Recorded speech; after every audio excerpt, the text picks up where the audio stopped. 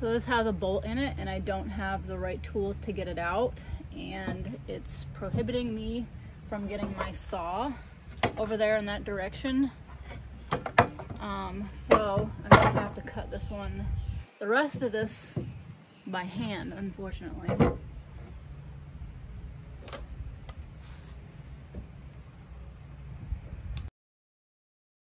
You know what I just remembered? That this company called Rotorazor had reached out to me and sent me one of their um, really cool seven in one power tools that they have and I think it would work great for the situation that I'm in right now. So let me go get that. Here it is. So I opened it a couple weeks ago and um, took a peek at it or whatnot, but I haven't used it yet. It comes in this really nice um, plastic durable carrying case and this is it. It comes with three different saws or blades I mean three different blades it already has one blade in here already and then it comes with two in this little compartment right here and it can be you can have turn this saw into seven different saws including a jigsaw, circular, bandsaw, tile saw, hacksaw, and miter saw. And then it cuts um, like tile or wood or plastic or steel or anything you needed to cut through, you just switch the blades and it will do everything that you need it to do. And one of the really cool things that I was uh, looking into about this is that you don't have to adjust this piece to what you're cutting. It automatically adjusts itself as you as you're as you're doing your cuts. So I thought that was really cool. Um, so yeah, let's see let's see if this will get the job done. Instead of me using this crusty, rusty saw here that I found in the camper when I bought it. All right, so I think you just pull this little trigger down here and this will make it go. Let me see. I'm a little nervous. This reminds me of the, um, that really scary tool. Oh, I can't think of it. But I used it when I was, um, oh, the grinder. Yeah, that's what this thing reminds me of. Scary. Let's see. Okay, yep. This little trigger down here starts her. And then I think this button up here, like I said, is what um, enables this piece right here to move. So see right now it's locked in. Let me try. Push that. Okay, see, there you go. And then it'll, it'll go and adjust to whatever you're doing. So you have to pull back on the trigger and push this at the same time. Go. Really need this to be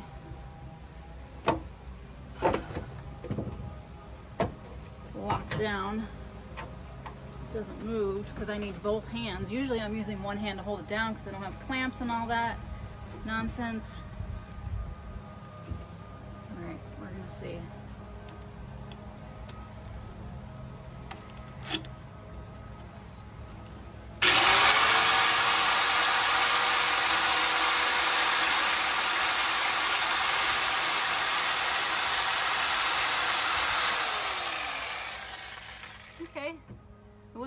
Too hard because I was scared, but man, that cuts nice and quick. All right, I'm gonna give it a little bit more, a little more gusto.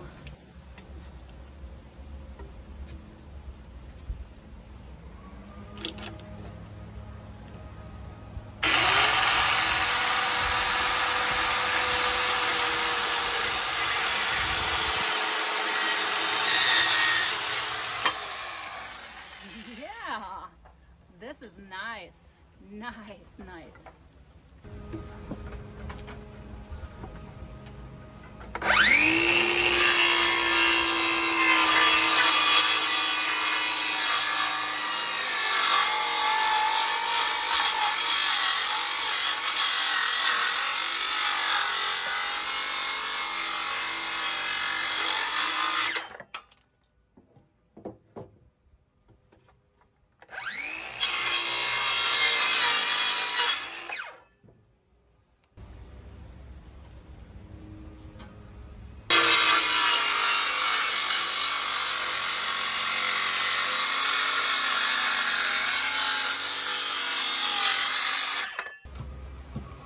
Now I wish I had a nice little sand belt so I could sand all these edges really nice and flat and flush, but I don't have one, or any sander for that matter, so we're just gonna have to make do.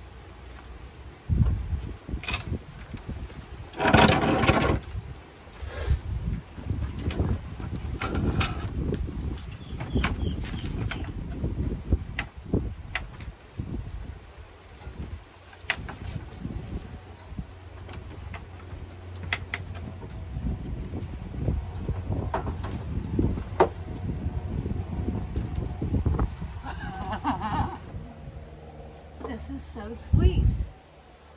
I was already wondering how was I gonna find another 4x4 or whatever the heck this piece of wood is to make four more legs, but then it dawned on me maybe I could just pull the steps out and use that as my leverage. And this is so freaking sturdy, you guys.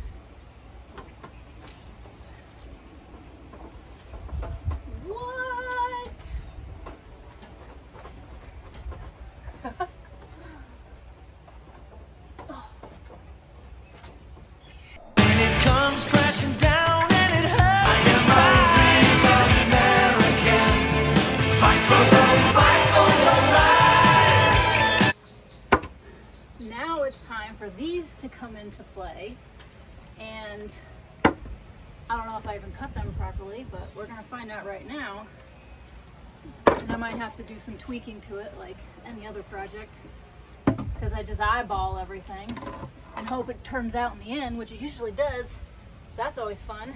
And this is looking pretty good. So,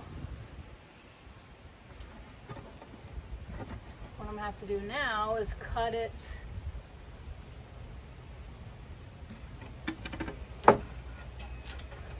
need to cut like a little notch in it right here so it'll fit underneath here and kind of tuck in like this like a little groove a little notch.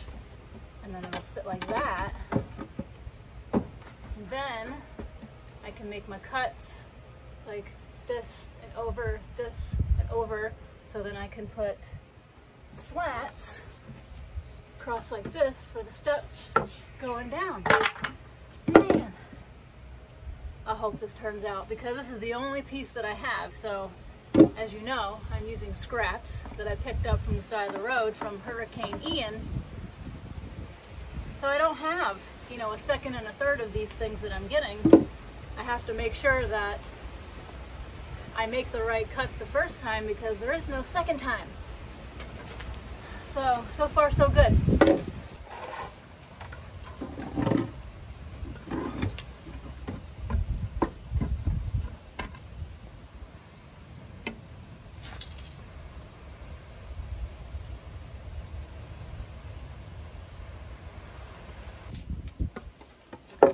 This is so confusing. Oh. I am really not sure if there's a method to this madness or if it's all just madness. But I'm just gonna wing it and measure from where the bottom of this is. I'm gonna make a little mark. So then I want another line going straight down this way that's going to come out about the distance of the width of this, which is about that long. So I'll need it to come out to at least here. Then I'll need to do a straight line up so it'll lie flush with this piece here. So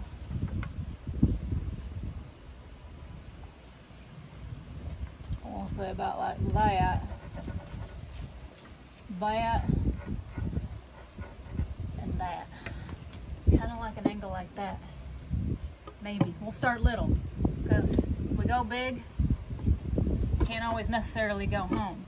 Or maybe maybe in this case we, we would have to just go home because we'd be all out of wood and we couldn't finish our staircase. So, but if we go little, always go bigger if we need be. So let's give this a whirl.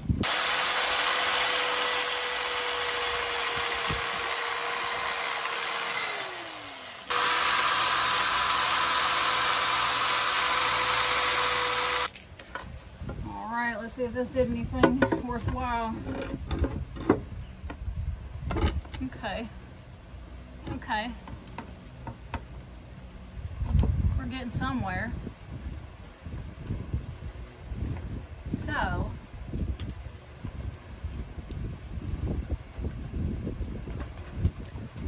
think I could cut it from here to here and I could make my first step there, but that's too close to the top. I would want to make the first step probably about oh, this is where it gets confusing. What am I talking about? It's been confusing this whole time. Okay, so, um, so I'd want, say a step. Maybe if I get on this side, you guys can see what I'm actually doing, right?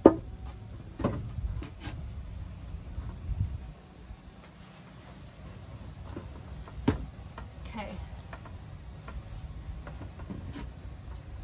I have this. Let's say I want like, we got step here, and then what did you guys say about how many inches it should be? I think you all said seven inches, right? So, according to that, first step should be right about here. So down, up, and then another one, one here,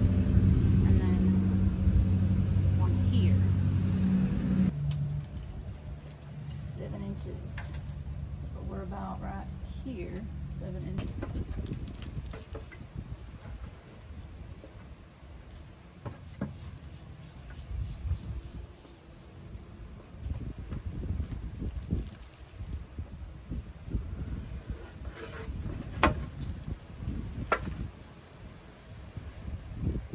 So this is where I'd need to make my first cut going across this way.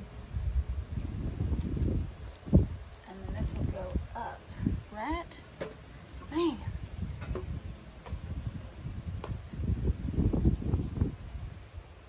I need figure out the width. Oh. Now these fence panels are what I was going to use for my step pieces. So these are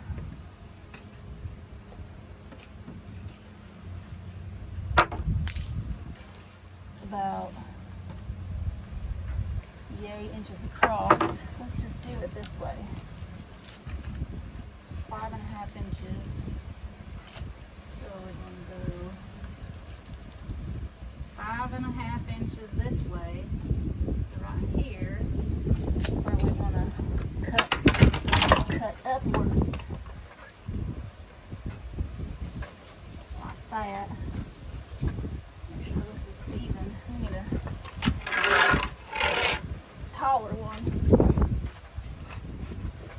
flat on the ground, wouldn't get a nice right cut. Oh, I need straight. Okay, lock that in. Again. So this is how I figured it out. So I'd be cutting across here, going down here, and this is where I'd want the first step at, coming out from here. But then I'm gonna have all this extra space up here, but I don't need a step that close. I don't know what to do unless I have that cut and I push this back further in, and then it'll be there first step will start right there. Maybe that's what I'll try. I hope this works so I don't have any more wood.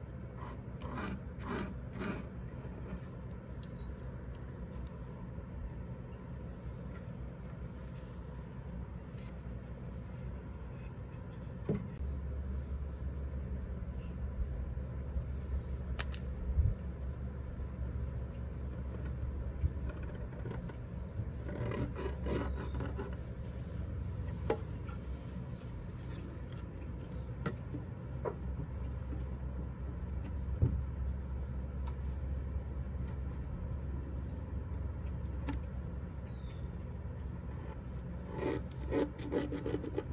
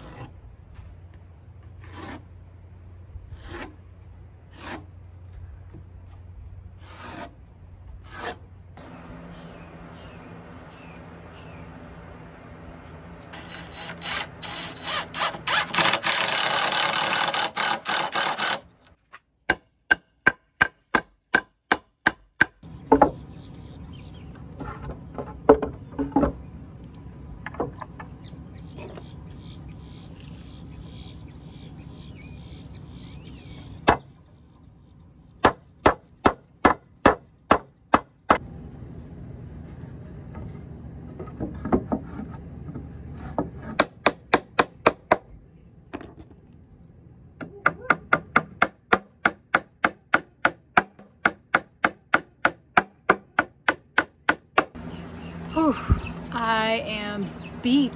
Oh my God, I am working at this part of the, the stairs all day long and I am exhausted. But before I show you, if you guys are interested in this really cool little handy dandy 7-in-1 power tool from Rotorazor, please click the link that I am uh, putting down below and you will get an extra $40 off of your purchase and then I make a little commission off of it as well. So if it's not something you want to use for yourself, it'll make a great Christmas gift because don't forget the holidays are right around the corner. But um, yeah, well let me show you what these steps look like.